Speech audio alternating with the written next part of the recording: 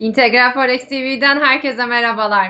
Haftanın son işlem günündeyiz. 1 Mayıs nedeniyle yurt içi piyasalar kapalı ama dışarıda yurt dışı piyasalarda oldukça hararetli bir gündem var. Dolayısıyla biz de sizleri yalnız bırakmak istemedik ve en çok merak edilen iki enstrüman hakkında bir yorum yapalım dedik. Dolar ve altın. Ne olacak bunların hali? Dolarda 7 liraların üzerine konuşmaya başladık. Ons altın özelinde de 1700 doların altında bir seyir söz konusu. Geçtiğimiz haftalarda çektiğim videolarda özellikle dolar ve altında biraz daha geniş bir bakış açısıyla dile getirmiştim. Yani aslında yorumlarımda tutmadı değil. Eğer izlediyseniz bence bu anlamda kazançlı bile çıkmış olabilirsiniz. Ama tabii ki senaryolar sürekli değişiyor. Yani dinamikler sürekli değiştiği için dolayısıyla biz de tekrardan bir ele almak istedik. Gelin isterseniz ilk olarak bir dolar TL ile başlayalım. Çünkü dolar TL'de 7 liraların üzerini konuşmaya devam edeceğiz mi ki 7.20'de de bir rekorumuz var biliyorsunuz. Yani şurada 20 kuruşluk bir fark var arada.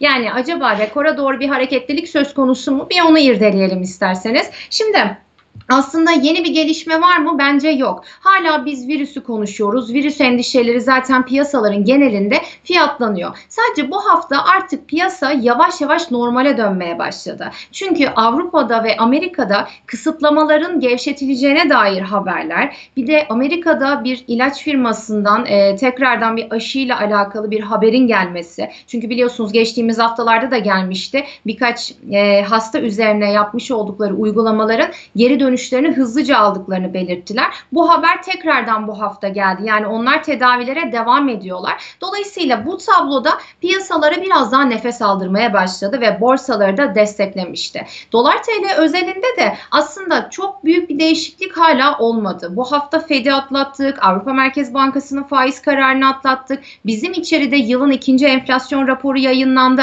Yani aslında gündem oldukça yoğundu. Ama ben size bir önceki yayınımda da belirttim. Dolar TL'de 7 liraların üzeri artık kaçınılmaz. Zaten kademeli bir şekilde yönümüzü yukarıya çevirmiştik. Özellikle 2020 yılı Şubat ayından itibaren yavaş yavaş 6 liraların üzerini sevdik ve artık yukarı yönde potansiyelini daha da güçlendirmeye başlamıştı. Hem risklerin e, tekrardan artması, gelişmekte olan ülkelerden fon çıkışlarının gelmesi, Türkiye'nin 5 yıllık CDS rakamındaki ciddi yükseliş derken oldukça karışık bir tablo vardı. E bir de pandemiyle beraber zaten ortalık toz duman oldu. Yine de bu tablo karşısında aslında dolar TL'nin ben iyi direndiğini de size söyleyebilirim. Çünkü bu kadar senaryo karşısında daha biz yeni yeni 7 liraları tekrardan konuşmaya başladık. En son biliyorsunuz 7.20'deki rekorumuz Ağustos 2018 yılında olmuştu. Yani o kur şoku yaşadığımız dönemlerdeydi. Sonrasında gelen müdahaleler doğrultusunda evet tansiyon dindi.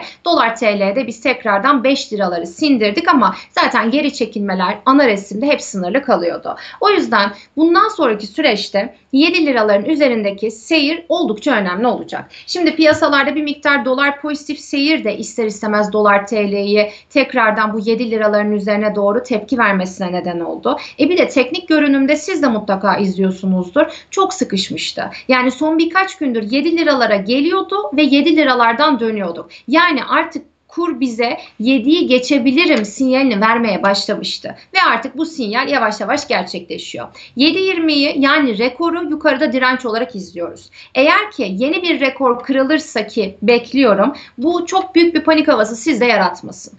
Olası bir yeni rekor gördüğünüz zaman açıkçası forex piyasasındaysanız orada bir kısa pozisyon denemesi o direnç noktalarında yapabilirsiniz.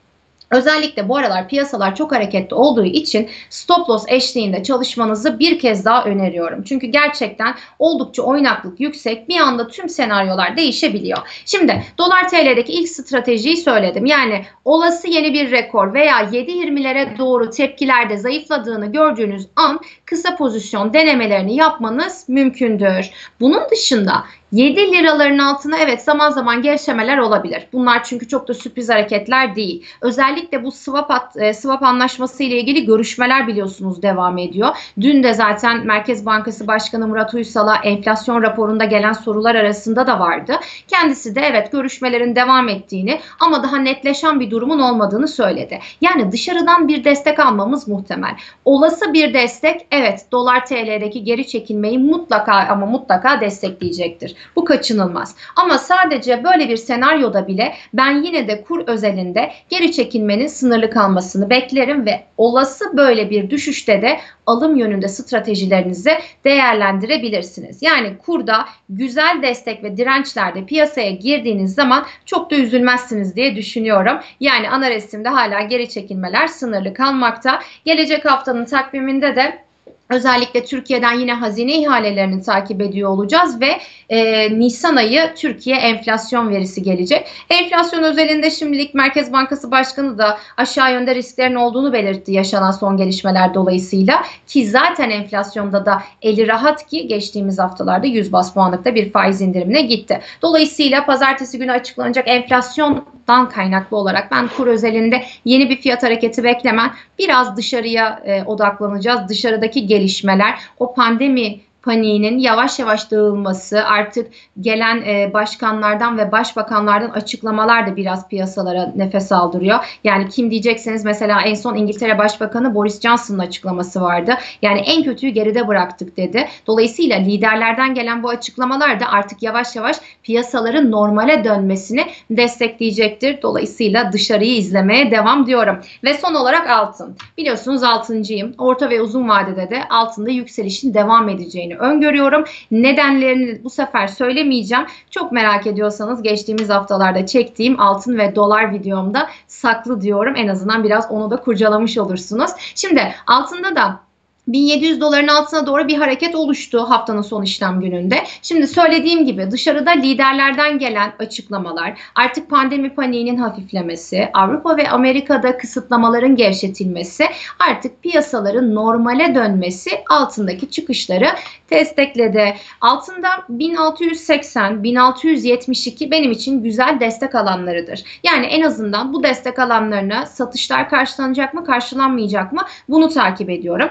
Geçtiğimiz haftalarda özellikle 1660'lara doğru bir eğim içerisindeydi ve buralardan tekrardan tepkilerle karşılaştık. Yani altında da aslında hala oynaklık var. Sonuçta piyasalarda hala netleşen bir durum yok. Hala ciddi bir nefes alma olmuyor. Sadece sınırlı kalıyor, kısıtlı kalıyor. Görüyorsunuz küresel borsalarda da risk iştahı çok güçlü değil. Çok güçlü alımlar gelmiyor. Dolayısıyla bu tablo karşısında da altın zaman zaman hareketlendiği için ben şimdilik altın özelinde geri çekilmelerin yine sınırlı kalmasını bekliyorum.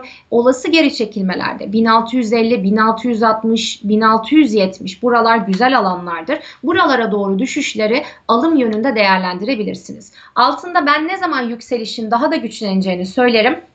1745 doları aştığımız zaman yakın zamanda çünkü bu dirence doğru geldik ve bu dirençten döndük. Dolayısıyla benim için bu direncin aşılması altındaki kazançların daha da genişlemesi adına önemli olacaktır. Oynaklık yüksek. Haber akışları bizim için önemli. Piyasalar normale dönmeye çalışıyor. Dolayısıyla dikkatli olun. Stratejilerinizde de stop loss kullanmadan pek fazla piyasaya girmeyin diyorum. Kanalımıza abone de olmayı unutmazsanız sevinirim. Şimdiden herkese iyi hafta sonları dilerim. Hoşçakalın.